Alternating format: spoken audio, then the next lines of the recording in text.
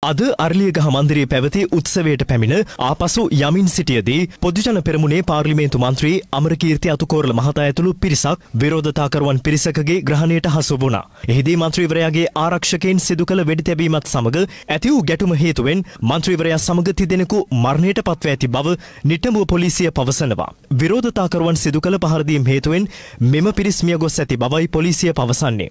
මේ අතර අමරකීර්ති අතුකෝරල මහතාගේ ආරක්ෂකයින් සිදු කළ වෙඩි තැබීමෙන් තරුණයින් තිදෙනෙකු තුවාල් ලබා ඇති අතර ඉන්ගෙල ප්‍රදේශයට වෙඩි වැදුණු තරුණයාගේ තත්ත්වය බරපතල බවයි වතුපිටිවල රෝහල් ආරංචි මාර්ග සඳහන් කරන්නේ.